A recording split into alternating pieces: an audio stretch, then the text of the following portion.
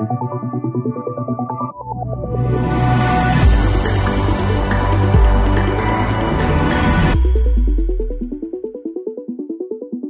à tous, merci d'être avec nous pour cette table ronde qui se tient à l'occasion de la nouvelle édition d'App Innovation.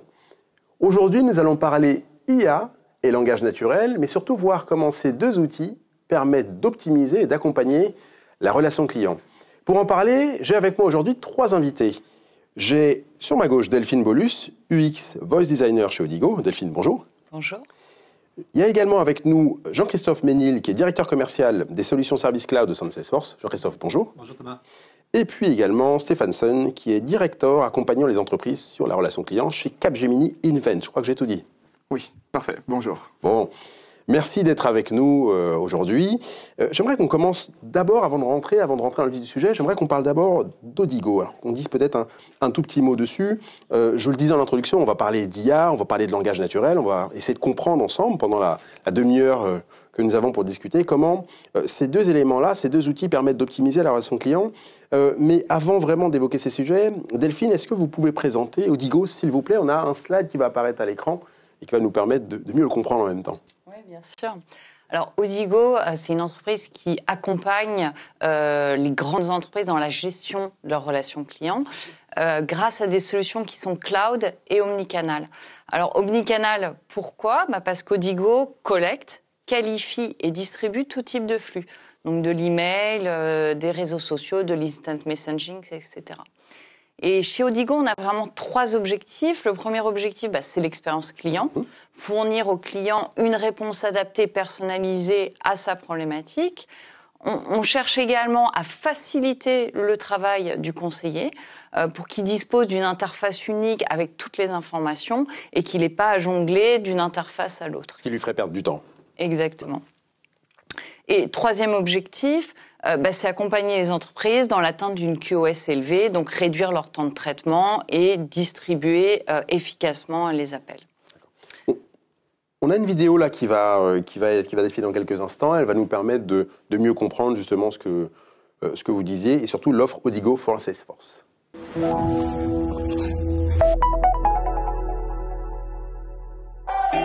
Vos clients veulent être écoutés partout et à toute heure. Comment pouvez-vous les mettre en relation avec le conseiller le mieux adapté pour répondre à leurs demandes? Odigo est une solution de contact center as a service entièrement intégrée avec Salesforce. Notre connecteur CTI donne une voix à votre CRM et permet à vos conseillers de gérer les interactions voix et digitales, y compris les campagnes sortantes directement depuis Salesforce. Odigo apporte aussi la puissance de ses stratégies de routage à travers une interface intuitive, facile à prendre en main, qui ne nécessite pas de connaissances techniques afin de toujours proposer la meilleure ressource pour apporter une réponse rapide, personnalisée et mémorable à vos clients. Marie est en voyage et constate que sa carte de crédit est refusée. Elle essaie d'appeler sa banque, mais son abonnement téléphonique la limite aux appels entrants. Elle utilise alors le réseau Wi-Fi d'un hôtel pour envoyer un message. Grâce à la délégation de routage d'Odigo utilisée par la banque de Marie et le contexte de son appel, son dossier va obtenir un statut prioritaire. Le moteur de routage trouve alors le conseiller le mieux à même d'aider Marie rapidement et positionne son dossier en tête de la file d'attente. Quelques secondes plus tard, Marie reçoit un appel et peut à nouveau utiliser sa carte de crédit. Avec Odigo, profitez du programme Service Cloud Voice et découvrez la meilleure intégration avec Salesforce disponible sur le marché. Envie d'en savoir plus? Demandez votre démo gratuite. Euh, Odigo et Salesforce sont deux acteurs spécialisés dans la relation client. hein. Ça a été dit, on en redira euh, au, au fur et à mesure. Et, et pour commencer, j'aimerais demander à Stéphane, justement avec votre casquette de, de directeur conseil, euh, comment, comment est-ce qu'on définit aujourd'hui, en 2021, une relation client performante? C'est c'est un véritable sujet, euh, cette culture servicielle de la relation client, qui à la base est quand même très anglo-saxonne, euh, qui s'ancre de plus en plus en France. Et les clients, il y a une- un gros, gros challenge, c'est qu'ils sont de plus en plus exigeants. Et il y a trois sujets, euh, justement, où ils deviennent de plus en plus exigeants. Le premier, c'est qu'un client, quand il contacte un service client, euh, il veut vous contacter par le canal de son choix. Euh, on parle de téléphone, on parle des canaux conversationnels, on parle de WhatsApp, on parle de mail. Et ça oblige finalement les entreprises à gérer l'ensemble de ces canaux d'interaction. le, le client ne veut plus se voir imposer un canal particulièrement pour échanger avec une marque. Non. Derrière son mobile, finalement, pour lui, la seule interface de communication et de conversation qu'il a avec son service client, c'est son mobile.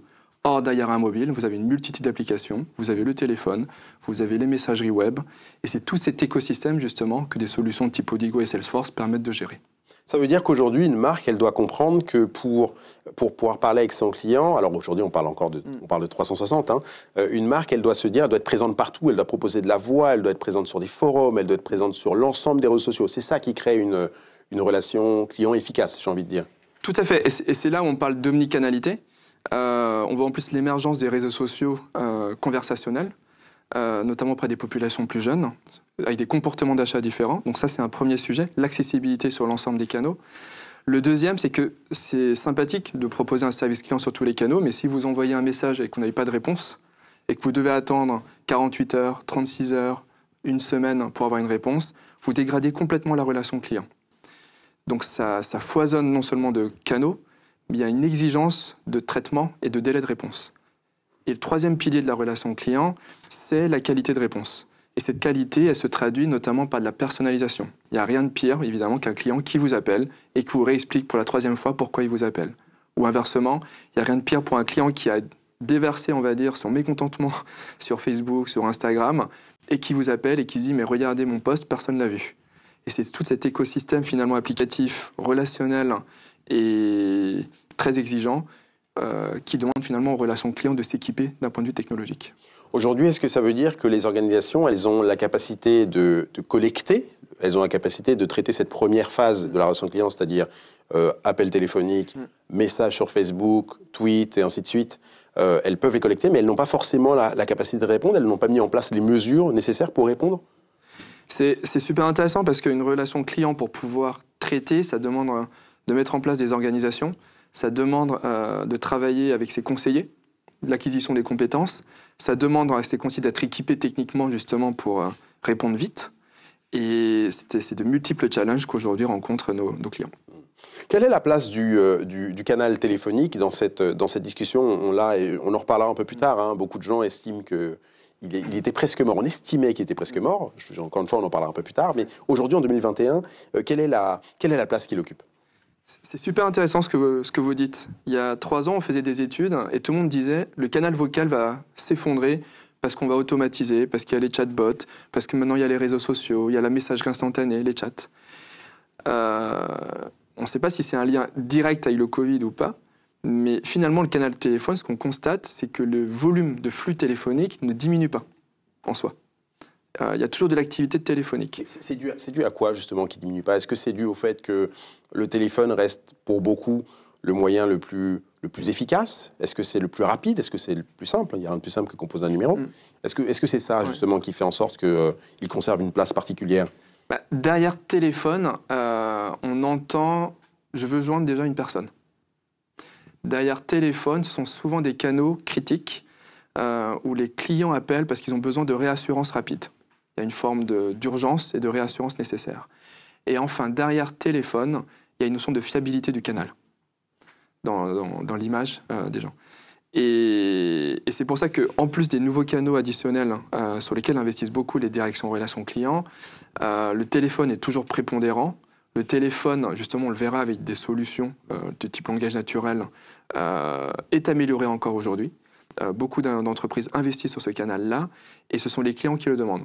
On, le voit aussi là avec ce qui s'est passé sur le Covid, un vrai besoin de réassurance. Et la réassurance, quand on vous envoie sur un portail où vous faites tout en self-care, ça marche pas toujours.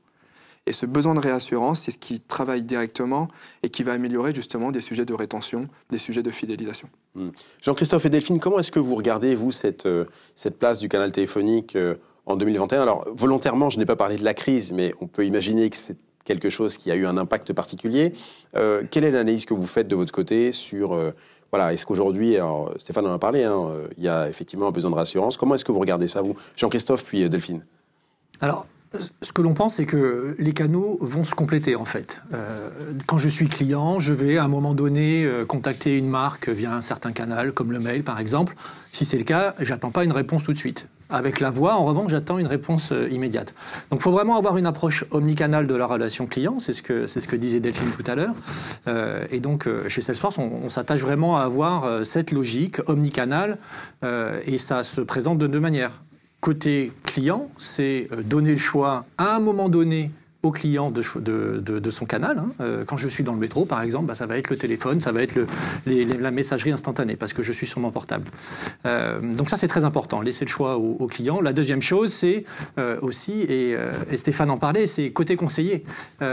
Permettre à un conseiller de traiter toutes les demandes sur tous les canaux via un même outil.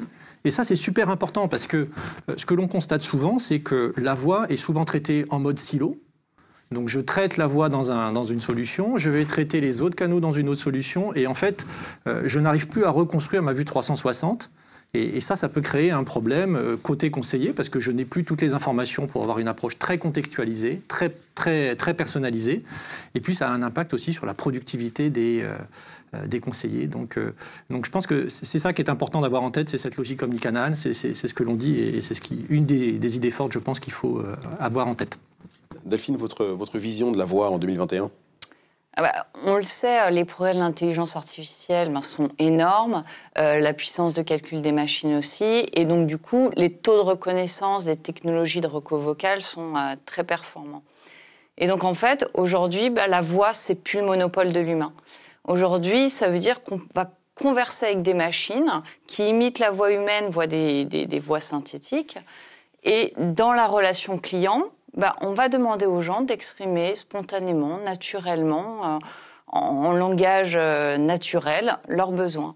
Et derrière, on va qualifier du coup très finement le motif, et puis on va pouvoir les classer et avoir des stratégies de distribution efficaces, soit vers des agents spécialisés, soit vers de l'automatisation quand c'est possible. Est-ce qu'aujourd'hui, ça sous-entend que les, organisations, qu'il s'agisse d'opérateurs, qu'il s'agisse de. On peut imaginer tout un tas de vendeurs, vendeurs en ligne et ainsi de suite, est-ce qu'ils ont besoin aujourd'hui d'intégrer très rapidement l'IA et d'en faire presque un canal prioritaire pour justement traiter rapidement les, euh, les, demandes hein? Stéphane disait qu'effectivement, il y a eu beaucoup de demandes, les gens ont besoin de réassurance, donc la voix, et c'est vrai que l'IA peut permettre de générer une voix, ainsi de suite. Est-ce qu'aujourd'hui, les organisations ont plutôt intérêt à, justement à, parier lourdement sur la voix pour faire en sorte de, euh, de, de traiter, de répondre plus rapidement euh, aux clients Euh, Delphine, puis euh, Jean-Christophe. Moi, je dirais, euh, on y a déjà partiellement répondu dans le sens où on sait qu'aujourd'hui, la voix reste un canal majeur et, un canal de réassurance où effectivement la personne appelle, elle veut, euh, elle veut un humain, elle veut une relation humanisée, elle veut une relation rapide, personnalisée. Et l'IA aujourd'hui, euh, c'est un outil indispensable pour apporter une expérience euh, fluide et efficace aux clients. Donc oui, il faut majoritairement s'intéresser à l'IA et à la data. ouais. Jean-Christophe? Alors, c'est un peu comme euh, la, question que vous me posiez, Thomas, sur, euh, sur le canal voix, avec d'un côté le client, de l'autre côté le conseiller. J'ai un peu la même réponse sur la partie intelligence artificielle. Euh, parce que oui, l'intelligence artificielle peut présenter euh, des avantages, des bénéfices côté client, c'est-à-dire que je vais pouvoir, en autonomie, euh, via un bot, via un bot vocal, trouver une réponse à, ma, demande. Donc ça, c'est la première chose. hein. Je, je, je, suis capable, très rapidement, grâce à l'intelligence artificielle, de trouver des réponses. La deuxième chose, je, je- je- du côté conseiller, encore une fois, euh, parce que l'intelligence artificielle apporte énormément de choses aux conseillers. Il va, pouvoir euh, notamment, euh, grâce à toute l'aide qu'il va recevoir en temps réel, grâce à l'intelligence artificielle, gagner en productivité, accéder à de l'information, et, et tout cela pour euh, offrir une, une relation encore plus personnalisée, encore plus contextualisée euh, à son client. Donc c'est très important d'avoir ces deux pans, je dirais, de l'intelligence artificielle euh, quand, on, quand on a une approche justement euh, euh, sur, sur ce sujet-là. Et autre chose, euh, l'intelligence artificielle, je la mettrai encore une fois dans un contexte omnicanal, c'est-à-dire que mon intelligence artificielle, idéalement, elle doit m'apporter les mêmes choses que je sois en train de traiter une interaction par la voix ou bien que je sois en train de traiter une, inter- une interaction par chat, par exemple. Euh, donc ça, c'est aussi très important. Si je peux, il y a aussi un point qui me semble euh, hyper important, c'est que l'intelligence artificielle, sans le donner, elle n'est rien. Et donc, il est, en tout cas côté Salesforce, très important de, directement faire un lien entre l'intelligence artificielle et la donnée client, que très souvent j'ai dans Salesforce, pour que eh bien, l'intelligence artificielle puisse apprendre, d'une part, et d'autre part, puisse personnaliser encore plus l'interaction entre une marque et son client. Euh, Jean-Christophe vient d'en donner un, avant-goût, hein, mais j'aimerais qu'on prolonge euh, euh, cet aspect-là avec vous, Stéphane. quelles sont les, grandes applications technologiques qui se cachent, en tout cas qui se cachent, qu'on peut anticiper, auxquelles on peut penser pour l'IA en termes de relations clients? Bah, Intelligence artificielle, c'est reproduire finalement des mécanismes que fera un autre humain. Donc, première étape, quand vous conversez, quand vous discutez avec des gens, c'est déjà sortir des mots. Et ces mots-là, justement, on a des technologies qui permettent de les capter. Je pense que vous en faites euh, vraiment tous usage aujourd'hui quand vous conduisez et que vous demandez d'appeler quelqu'un. C'est ce qu'on appelle justement des technologies de, speech to text ou de text to speech, justement, qui permettent de capter votre voix et de reconnaître, d'identifier les mots que vous dites. Euh, mais après cette étape justement de, reconnaissance des mots, il faut les comprendre. Et derrière la compréhension des mots, c'est ce qu'on appelle le langage naturel langage naturel qui est à la fois sur du processing et de, l'understanding. Donc je processe et je comprends ces mots. Euh, et ça permet finalement, derrière un mot, de comprendre un besoin client. Donc ça, ce sont les technologies qui aujourd'hui sont développées, sont matures, et je pense que euh, c'est ancré dans les usages des gens, notamment par leur mobile, l'utilisation de leur téléphone. Et, on va utiliser ces technologies justement euh, pour, entre guillemets, augmenter la relation client, l'aider à être plus efficace et à proposer une meilleure expérience client. Et justement, dans les champs d'application de ce qu'on ce qu'on vient de décrire en termes de briques technologiques, on parlait beaucoup client. Euh, Jean-Christophe a beaucoup cité aussi le conseiller. Ce sont d'autres cas d'usage.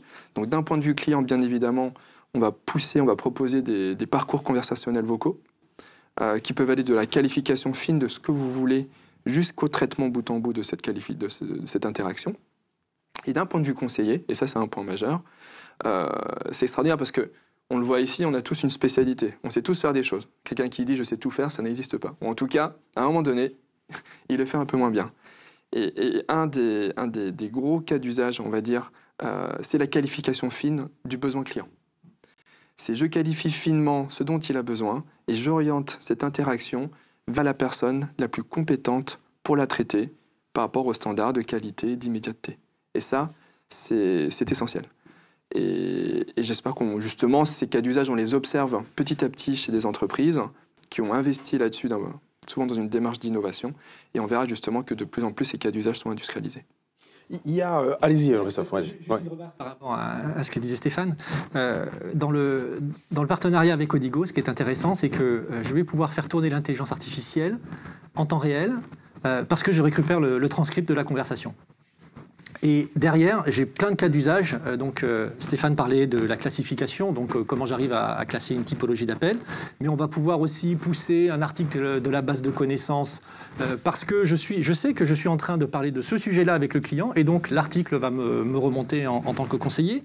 On va me proposer des actions à réaliser. Je vais pouvoir déclencher des processus. Donc, à partir du moment où on récupère le transcript, ce que je voulais vous dire, c'est qu'on peut faire plein de choses pour le conseiller et le rendre beaucoup plus autonome, beaucoup plus efficace dans dans, la manière de traiter une, interaction. À quel point justement cette IA est, euh, est efficace? Et ça, c'est une question pour, euh, Stéphane et Jean-Christophe.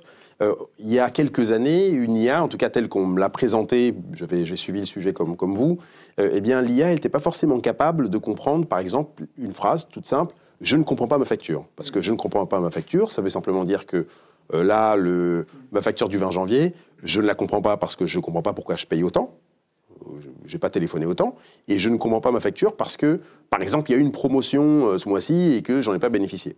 Est-ce qu'aujourd'hui on a une IA, notamment par les données qu'on lui a fait euh, lui, a fait ingérer, je dirais simplement, est-ce qu'aujourd'hui les IA sont capables justement de, saisir les nuances? Parce qu'en fait, les nuances, on se rend compte que c'est surtout là euh, que, va porter et, que porteront en fait les principales difficultés. Où en sont les IA sur ce point-là? Et, comment justement on organise le passage entre l'IA et le conseiller quand il y a des nuances comme ça qui peuvent être problématiques pour la relation client elle-même et que justement on veut s'assurer que le client soit euh, vraiment bien traité. Euh, Stéphane et Jean-Christophe. Bah, on, a souvent parlé d'IA forte et d'IA faible. Hein. J'adore ces concepts-là. Euh, ce qui est sûr, c'est qu'une euh, IA n'apprend pas tout seul. Donc ça, c'est un point de départ. Et il faut que les, je pense que les, gens se rendent compte que pour mettre à disposition une IA qui soit performante au début, ça demande aussi de l'investissement, ça demande de l'entraînement sur des jeux de données. Et les jeux de données doivent être de qualité. je ne sais pas ce débat là-dessus, mais c'est un point majeur. Euh, le deuxième point, euh, vous parliez de nuances. Euh, justement, dans les parcours conversationnels, on fait aussi reformuler un besoin. C'est-à-dire que le client exprime en spontané certains éléments, on détecte que c'est un peu flou, et dans les parcours conversationnels, on va, le, on va échanger avec le client pour qu'il affine son besoin et qu'il l'exprime. Et ça, l'IA sait le faire. Et troisième point, euh, et ça c'est super important, on met en place une IA à un instant T. Euh, aujourd'hui, il faut mettre en place aussi les, tableaux de bord de pilotage de la performance de cette IA. Parce qu'aujourd'hui, l'IA est performante, dans six mois, ça peut être complètement différent parce que les tonalités changent, les conversations changent, le contenu change. Donc les entreprises mettent aussi en place tout un dispositif pour voir évoluer cette IA dans le temps et s'assurer qu'elle reste performante. Donc oui, c'est performant, mais ça demande des prérequis, de l'énergie et du travail.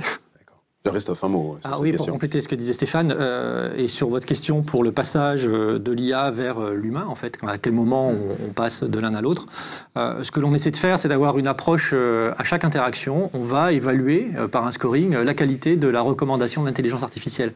Et on va fixer un seuil, et, de manière très, très simple, si je suis au-dessus de ce seuil, si je suis suffisamment confiant dans la qualité de la, de la recommandation, je vais faire tourner l'intelligence artificielle. En revanche, si je suis en dessous, eh bien, je vais plutôt favoriser une interaction avec un conseiller euh, humain pour, euh, pour pouvoir euh, être certain de répondre à la demande du client. Donc, ce sont des choses que l'on peut paramétrer dans, dans, les solutions comme Salesforce, typiquement.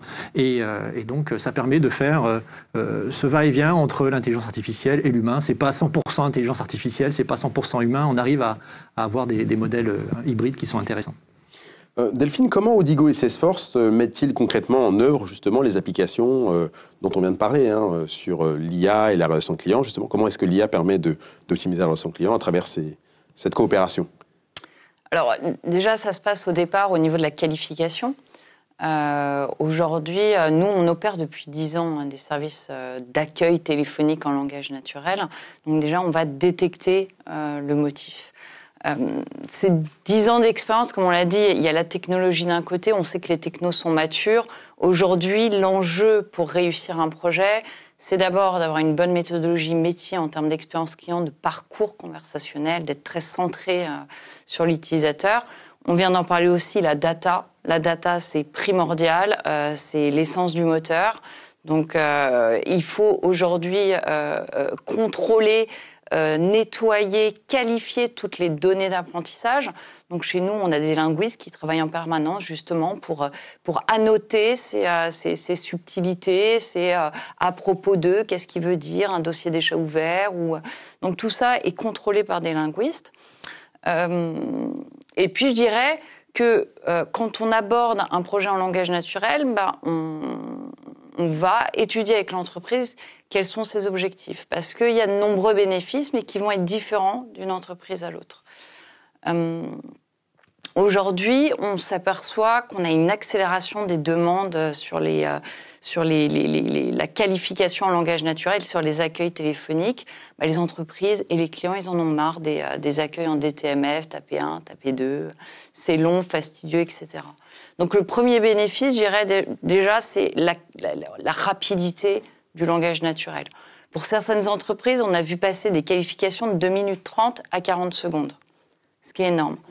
Voilà, quand on sait que la rapidité est un point clé de l'expérience client, c'est crucial. Deuxièmement, on a aussi beaucoup d'entreprises qui disposent de beaucoup de numéros et c'est une vraie jungle pour le client qui ne sait pas qui doit appeler, le SAV, etc. Le langage naturel, ça permet de mettre en place des accueils uniques. Et ça lisse, ça rend totalement transparent l'organisation complexe de l'entreprise. Donc ça également, c'est un point fort parce qu'on sait qu'il y a des, entreprises qui ont grossi avec différents SI, etc. Et donc ça, c'est euh, primordial. Euh, D'autres bénéfices du, langage naturel, bah, c'est au niveau aussi du modèle opérationnel des entreprises. Euh, on arrive à qualifier de manière très fine les motifs Et donc, du coup, on peut faire évoluer euh, l'organisation de leur relation client, les groupes de compétences, euh, euh, les plans de formation. dernièrement, on a un client qui est venu nous voir, ils avaient une problématique de turnover sur leurs conseillers extrêmement élevée. Et ben, la mise en place du langage naturel nous a permis de, de, de, de mettre en place des plans de formation où les nouveaux arrivants, très vite, ils prenaient les appels. Euh, voilà, puis alors après, un peu en continuité, évidemment, le passage de contexte est extrêmement important vers le conseiller. Et puis, la phase d'après, ben là, on a, on a qualifié les motifs, on a des métriques, on sait où on va, et ben on va pouvoir identifier des motifs automatisables. Et, euh, et qui sont héroïstes, qui sont volumiques, qui sont des motifs simples, etc. Et là, j'alerte, euh, parce que tout euh, tout n'est pas automatisable. Aujourd'hui, ce qu'on appelle les bots euh, ne peuvent pas répondre à toutes les questions. Ils doivent être hyper spécialistes, répondre à des demandes simples et, euh, et avoir un périmètre très précis. Ça doit être simple, mais ils doivent y répondre parfaitement. voilà aujourd'hui. Donc on a encore et toujours besoin de l'humain en coopération avec, avec l'IA. On arrive à la fin de cette table ronde deux, trois conseils. Je vais demander à chacun d'entre vous de donner une ou deux clés qui, pour vous, sont, sont essentielles pour, euh, pour réussir et pour optimiser sa relation client. Et je vais commencer par Jean-Christophe. Rapidement, un ou deux points pour vous, absolument essentiels. Euh, le premier, ça fait écho à, ce que disait Delphine, c'est euh, l'aspect humain. Je pense que c'est très important quand on met en place ce type de solution, ce type de projet, d'inclure les conseillers euh, ils doivent comprendre la raison pour laquelle on mène ce type de projet, parce que c'est eux qui vont être euh, tous les jours en train de, de profiter d'utiliser l'intelligence artificielle. Donc ça, je pense que c'est un point hyper important. Le deuxième point, c'est euh, mettre en place des solutions à l'échelle. Euh, très souvent, on, on, est sur des, des, des, des, POC, on est sur des, des mises en place de solutions sur des cas d'usage très restreints. Et euh, c'est pas là où on trouve la valeur avec l'intelligence artificielle, c'est vraiment dans, une approche très volumique que l'on va pouvoir tirer un maximum de valeur de ces solutions. Donc euh, c'est bien de passer par le POC, mais il faut très rapidement passer à l'échelle. Et là, on peut avoir une approche itérative. On n'est pas obligé d'avoir des résultats excellents dès le départ. Il faut accepter d'avoir des résultats peut-être médiocres dans un premier temps, mais d'avoir une trajectoire. Et donc, euh, je conseille à toutes les entreprises de rapidement passer à cette échelle. Stéphane, deux conseils rapidement, un ou deux. Euh, en complément du coup de, Jean-Christophe, euh, on a souvent pris des chatbots ou langage naturel pour optimiser, pour automatiser, pour faire du self-care parce qu'un centre de relations client est encore perçu comme un centre de coût et qu'il faut réduire les budgets, répondre à la qualité de traitement. Aujourd'hui, je crois énormément aux chatbots aussi pour augmenter l'expérience client. Et comment justement le langage naturel et les chatbots peuvent incrémenter des parcours clients. On parlait de parcours de facturation, de parcours de souscription ou d'autres types de parcours. Et, puisque finalement, dans un parcours, il y a un moment donné, le client, il s'attend pas à avoir un humain, il s'attend juste à avoir une tâche rapidement faite. Et là, le chatbot peut intervenir. Et, je pense que par ce prisme-là, on peut avoir un meilleur taux d'utilisation des chatbots, ou peut-être aujourd'hui, certains peuvent dire on a une forme de plafond de verre, mais cet angle parcours est important. Et le deuxième, euh, ça rejoint pas mal d'éléments, il y a, y, y a le conseiller. C'est un acteur majeur dans la transformation. Euh, euh, le langage naturel des bots, euh, ça vient déformer le mix d'activités qu'il reçoit. Il ne faut pas le négliger. Ça vient modifier les groupes de compétences. Et, finalement, c'est autant un projet orienté client que des projets orientés aussi vers les conseillers et sur l'interne. Delphine, un mot ou deux et vous conclurez cet échange. La data. Et donc, du coup, on a une roadmap innovante, notamment en ce qui concerne notre intégration avec Salesforce. La data, c'est le cœur de la réussite des projets IA. Voilà une, fin impeccable. Merci beaucoup Delphine, merci Stéphane, merci Jean-Christophe.